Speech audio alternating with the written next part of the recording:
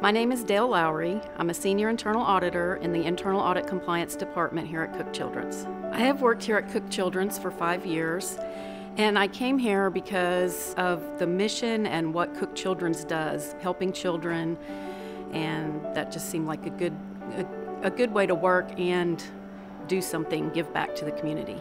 My work in internal audit affects our patients uh, by us looking at departments and seeing how they can be more efficient and more effective.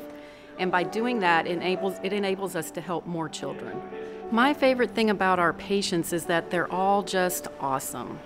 That doesn't mean that they're happy every single minute of every single day because a lot of them go through a lot of tough things that it would be hard for adults to go through.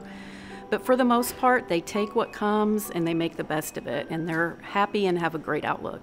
I am very honored to work here at Cook Children's. My name is Dayle Lowry, and I am Cook Children's.